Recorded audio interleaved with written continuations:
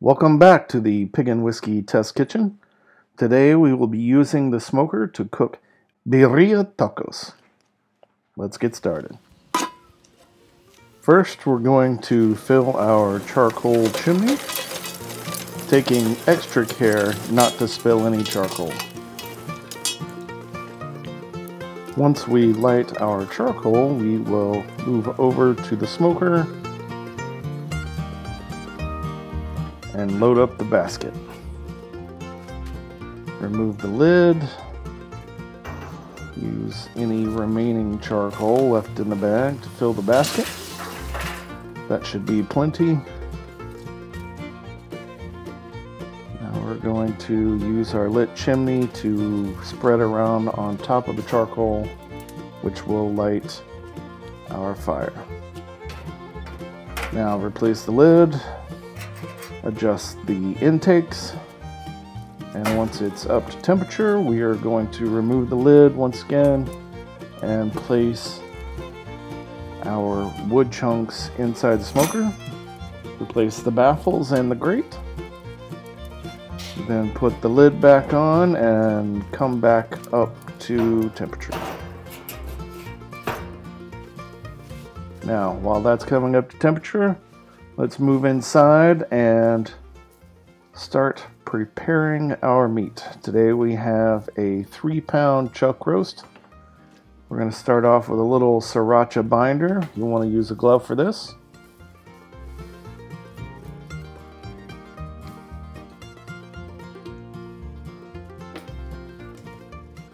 So after coating both sides, we're going to sprinkle salt liberally across the surface of the meat. We also have about a tablespoon of peppercorns ground in the spice grinder. We're going to coat this evenly across the surface, reserving enough for the other side.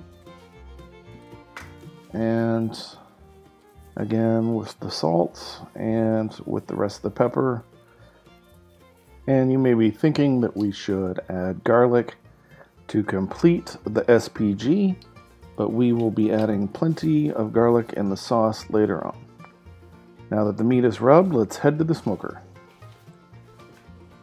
Needles up, we are good to go. We're going to remove the lid and let the smoke dissipate a bit before placing the meat on the smoker.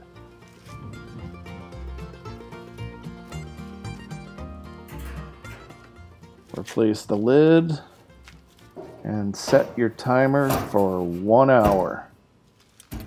After one hour, we're going to remove the lid.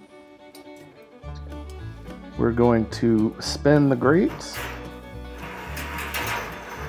and flip the meat. And all this does is just ensure even cooking on the top, bottom, and sides of the meat.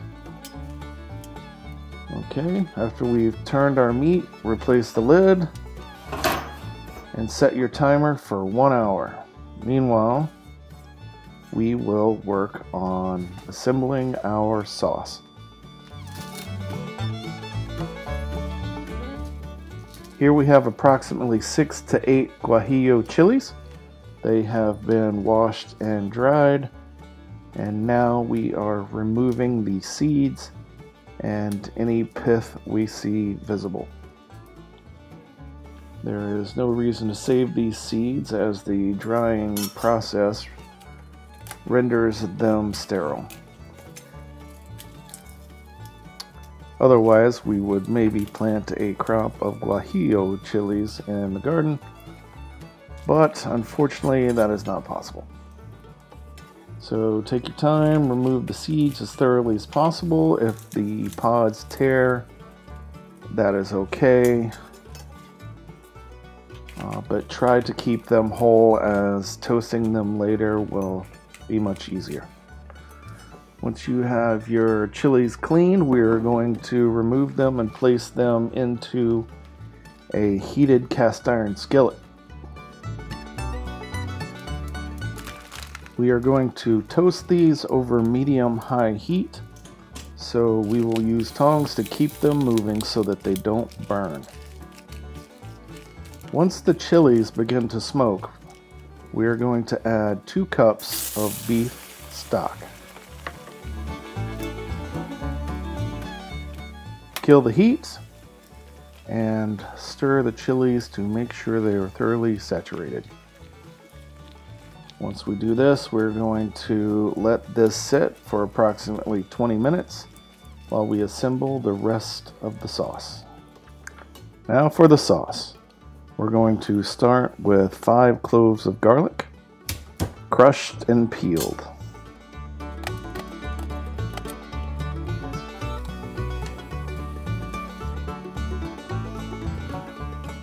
After you finish with the garlic, we are going to peel one whole onion.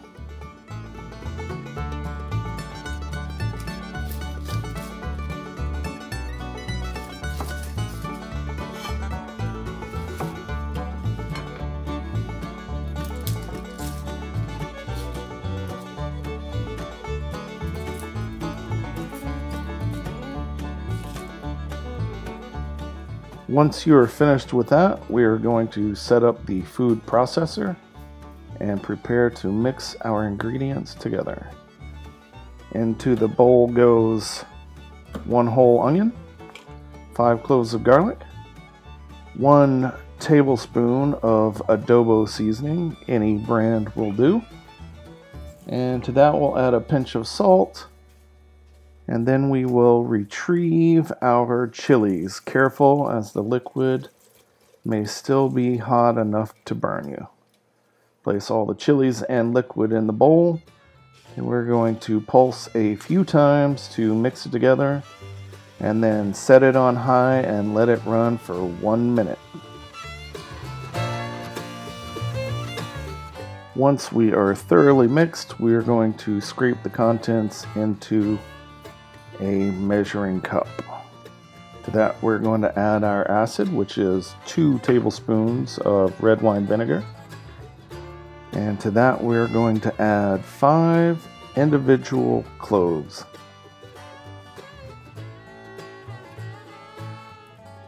And after that, one third of a stick of cinnamon. And mix it all together.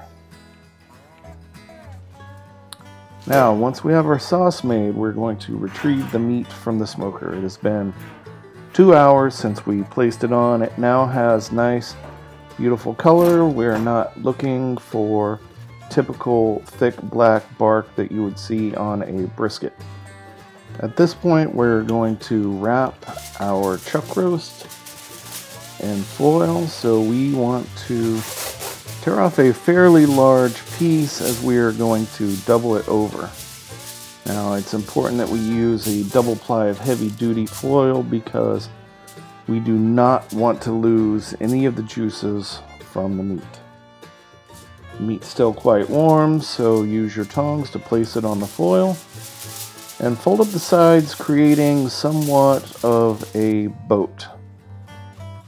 And to that we're going to drizzle our sauce over the top of the roast and around the sides.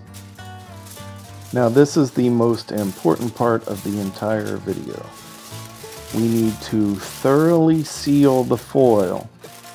We don't want any moisture to escape, so you definitely want to tighten it down and seal it up as best as possible. Okay, once you have your foil pack, you're going to place it back on the rack. Careful as the rack may still be warm from the smoker. Once we have that placed on the rack, we are going to use a foil pan. And this is a trick that pitmasters use as the chilies contain a certain amount of sugar. Placing the foil pack directly on the grate above the fire in a drum smoker will cause it to burn on the bottom. So by placing the rack inside a foil pan, we're going to create an insulated pocket of air around the roast so that it does not burn. After putting the meat back on the smoker, we're going to replace the lid. Once the roast has reached an internal temperature of 210 to 215 degrees, we're going to remove it and rest it for one to two hours. I really wish YouTube had smell-o-vision at this point because the aroma coming from that foil pack right now is completely unbelievable. Remove the cinnamon stick. Now we're going to be very careful as we do not want to lose any of that precious sauce. We want all the fat, all the sauce, anything we can salvage from the foil pack. Set that aside. Now we're going to break down the meat. I only let mine rest for about an hour. Probably should have gone for two uh, as it was burning my hands while I was pulling the meat. Here we're going to remove any big bits of gristle or fat that did not render out. But for the most part, we are just breaking it down and then we are going to wrap it back up and place it in the fridge.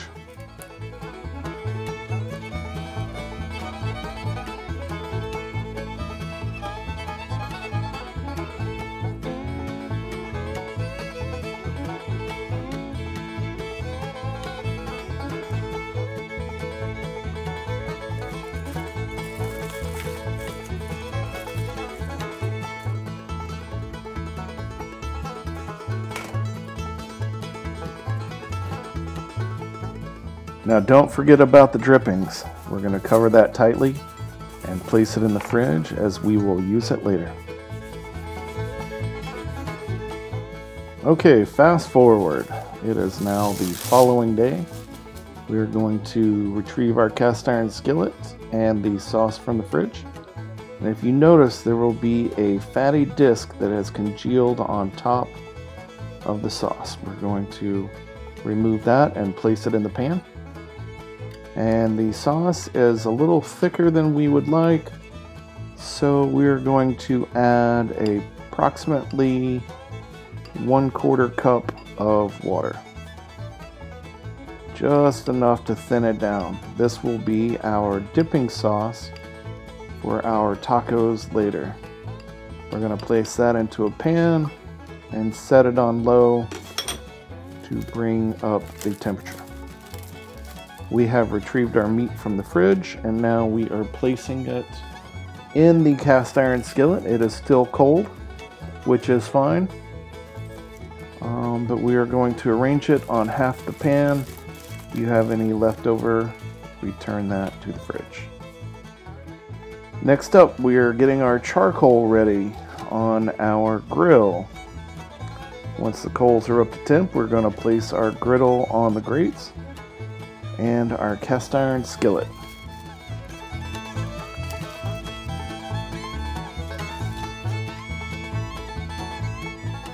Once everything in the cast iron skillet has come up to temp, we are going to take our tortillas and dip them in the oil and spread them around on the griddle, just trying to evenly coat them with the fat.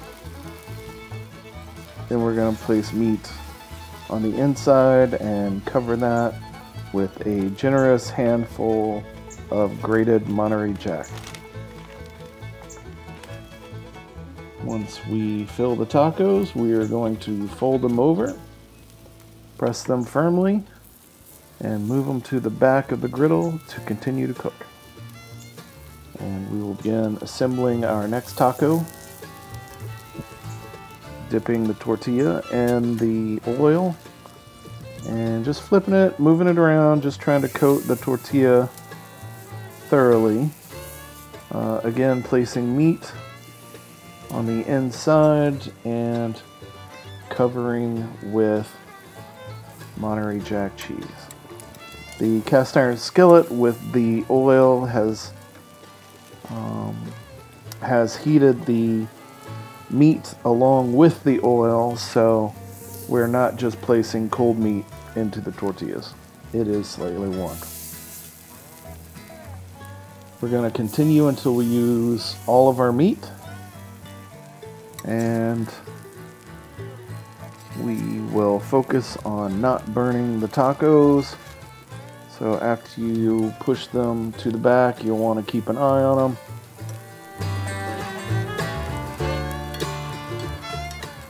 And flip them when you think they're done. That one got a little bit toasty, but it's quite alright. It's still very delicious. Now that our tacos are done, we're going to bring them inside where we have our au jus that has been heated. Uh, into that, we have thrown in some onions and cilantro. Think of it as taco lubrication so that you might shove as many tacos as possible into your mouth. Here is the finished product. Please enjoy.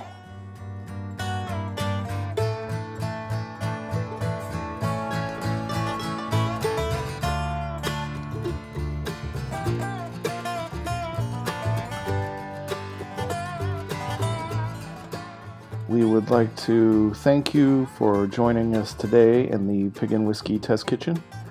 We look forward to seeing you next time.